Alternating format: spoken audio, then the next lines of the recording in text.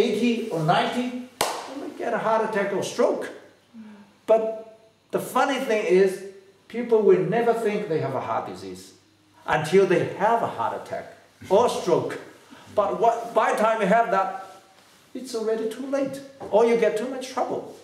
You see, Salim came to Germany and Switzerland to attend workshop twice, okay? At the beginning, he was concerned about the father, you, right? Because you were more sick in those days. Now, after doing this PaidaLajin for this years, uh, he also went to the workshop in Switzerland. Yeah. And he stopped all medication for a few years. Hmm. Then all of a sudden, Sali- Salim's mother got a stroke. Just a few days ago, yeah, a week ago, right? So you see, that's a tragedy. I'm sure, see, both you and Salim, you know, talked many times, tried to, We were supposed to be here, both of us together. yeah. That was his plan was, you see. Suppose if the mother did more pathology earlier, mm-hmm. you could have avoided this stroke. Mm-hmm. But how can you prove it? See, it, it is, it, the cost is too much. You prove you got a heart problem by heart attack or stroke. That cost is too big. So why don't you do before the heart attack or stroke shows up? See? To my mother, the same thing. She didn't believe me.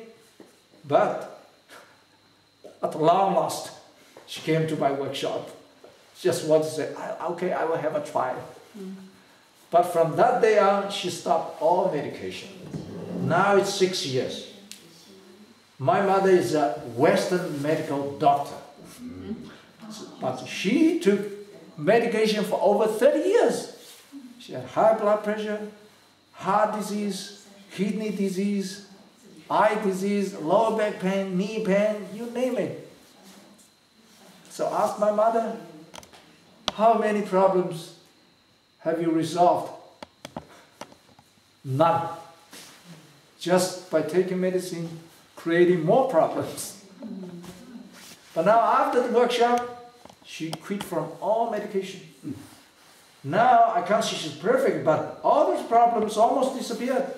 Blood pressure normalized, heart beating normalized, kidney problem gone. But she would still argue with me, what about my eye problem? I already made appointment for surgery. Can we slap on the eyes? I said, yes, of course. So she did, very heavy on the eyes for a couple of weeks. Then she canceled the surgery for the eye. So- So I want to say, Master, Master, I have